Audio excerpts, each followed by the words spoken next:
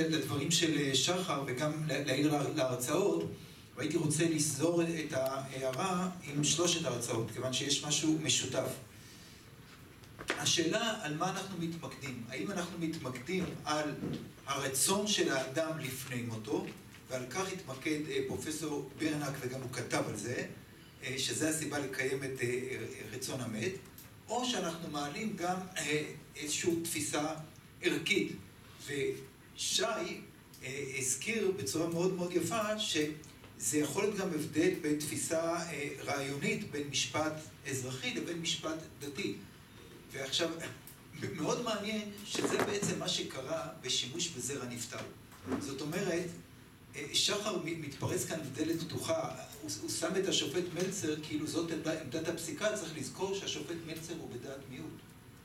וחשוב להדגיש את זה. זאת אומרת ההנחיה של היועץ המשפטי לממשלה אליקים רובינשטיין הייתה מעמדה שיש אפשרות להשתמש בזרע הנפטר רק אם אנחנו מניחים שזאת יש אינדיקציה שזאת הייתה זו היה רצונו של האדם לפני מותו. כל עוד אין אינדיקציה שזה היה רצונו אי אפשר להשתמש. חשוב להדגיש בהנחיית היועץ נקבע שנייה דקה דקה דקה.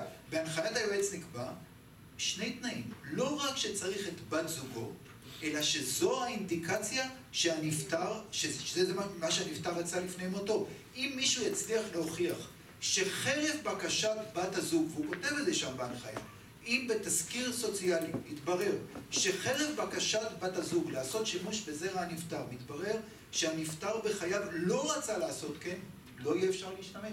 זאת היא הנחיית היועץ. עכשיו הדינמיקה שקרתה לפני פסיקת בית המשפט העליון מאוד מעניינת. שופטי בית המשפט לענייני משפחה לא היו מחויבים להנחיית היועץ והם פיתחו תפיסה אחרת לגמרי. דהיינו שאנחנו לא מחפשים את רצון הנפטר אלא שיש ערך במה שאתה הזכרת שחר בהמשכיות של הנפטר. מאוד נגע לליבם שבא נגיד אימא שהיה לה בן יחיד והוא לא עלינו נפל בצבא נהרג בצבא ואומרת האימא לא נותר כלום. הבן הזה מת לי גם אין שום דבר. השופטים לא יכלו שלא להיענות לבקשה בכל אופן זה היה ליבם והם גם הסתמכו באמת על פרשת הייבום ואז התפתחה תפיסה אחרת לגמרי.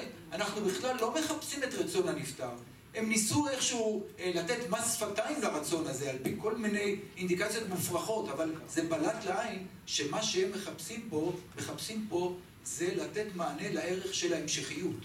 לערך של ההמשכיות חשוב לתת ערך להמשכיות של הנפטר. צריך לזכור גם ברגע שאתה מסתמך על פרשת הייבום פרשת הייבום בתורה לא הולכת לברר מה היה רצון הנפטר. ההנחה היא שרצונו להמשכיות בין אם הוא אמר משהו בין אם הוא לא אמר משהו. אבל שחר צריך לזכור בית המשפט העליון שם לזה סוף. בפסיקה ההחלטית שלו והשופט מזוז היה בזה מאוד החלטי הוא בא ואמר אנחנו לא הולכים להמשכיות. אין לנו כל עיקרון כזה.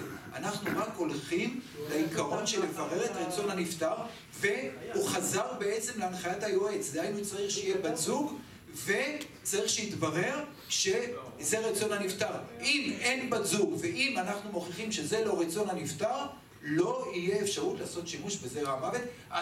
דבר אחרון האינדיקציה. מצווה לקיים דברי המת סיפור ממש של אינדיקציה ירדנה בא לפני הרב רב אושר וייס מקרה מזעזע.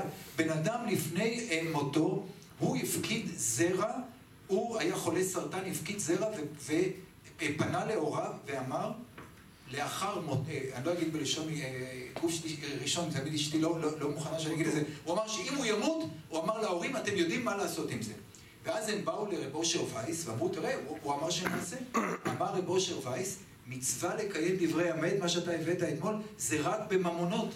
אתם לא חייבים לשמוע לו, אל תשתמשו בזרע הנפטר.